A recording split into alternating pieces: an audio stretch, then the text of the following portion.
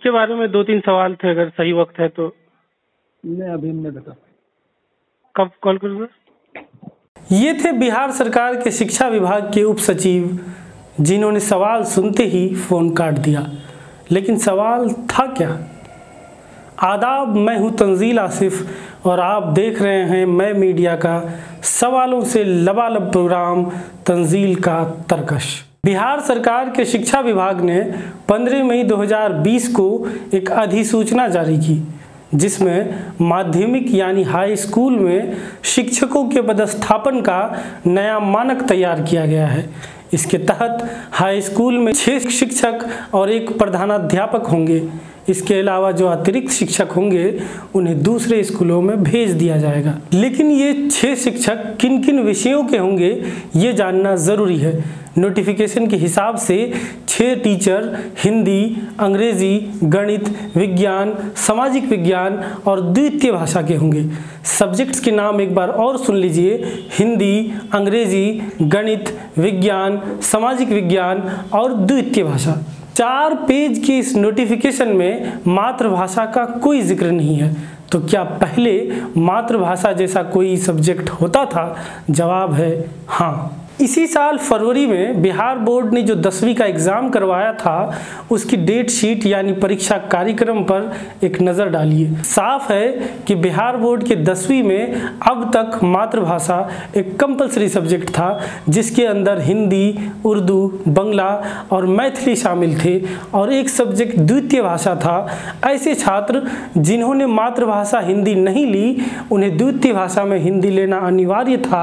बाकी लोग संस्कृत अरबी, फारसी और भोजपुरी में से कोई एक द्वितीय भाषा को अपना सब्जेक्ट बना सकते थे। यानी हिंदी पढ़ना पहले भी अनिवार्य था, लेकिन उसका तरीका अलग था। लेकिन यहाँ मुद्दा हिंदी के अनिवार्य होने का नहीं है।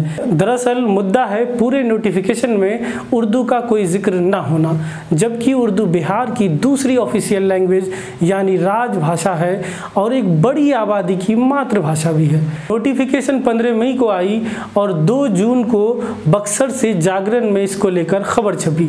लेकिन बिहार के हाई स्कूलों में मातृभाषा को हटाए जाने की बात पिछले कुछ दिनों से ही चर्चे में है। उस सर्कुलर को ठीक से पढ़िए तो उर्दू अब स्कूलों में, हाई स्कूलों में कंपलसरी पेपर नहीं। पहले जो मदर टंग के नाम पर वो कंपलसरी पेपर थी, पेपर था, अब वो नहीं रहा।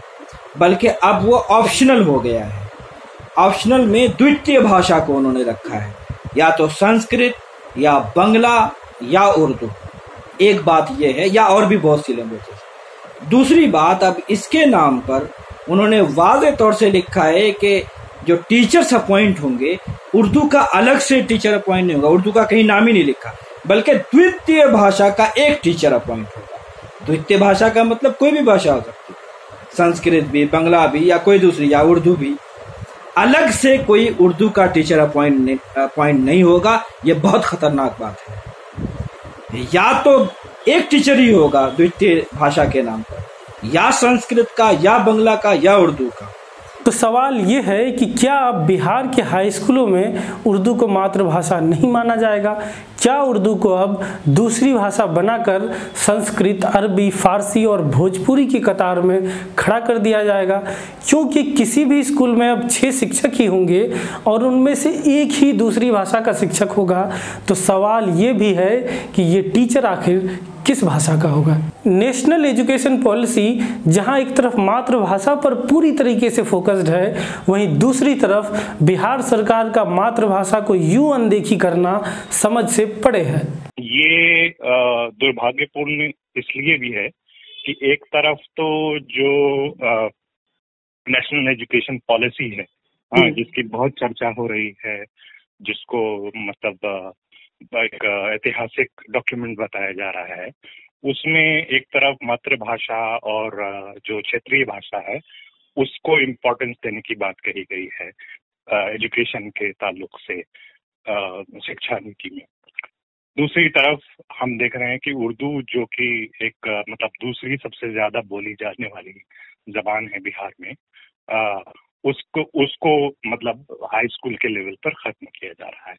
तो ये ये अपने आप में कॉन्ट्रडिक्शन है। दुर्भाग्यपूर्ण होने के साथ साथ जो है ये कॉन्ट्रडिक्शन है। क्योंकि मातृभाषा की जो इम्पोर्टेंस रही है इस पर बहुत सारे एजुकेशनिस्ट और जो रिसर्चर्स हैं जो लैंग्वेज को लेकर के और जो अ, उसके इम्पोर्टेंस को लेकर के अ, अ, काम करते रहे उनका मानना है कि मातृभाषा बहुत इम्पोर्टेंट है। इनफैक्ट कम्युनिकेशन के लिहाज से भी।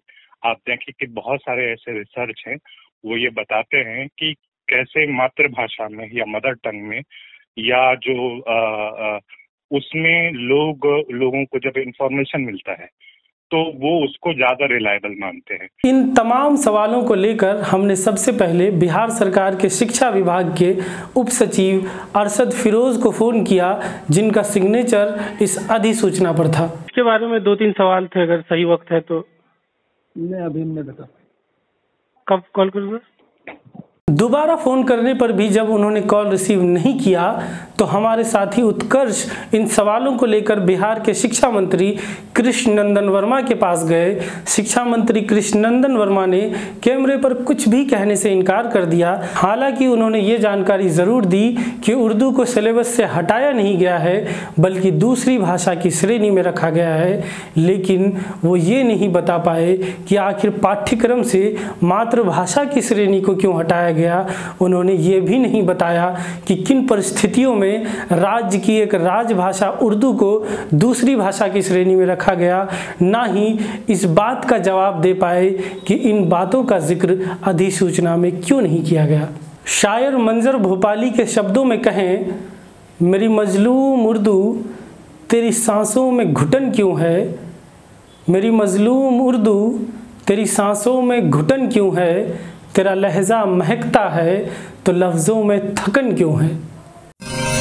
Música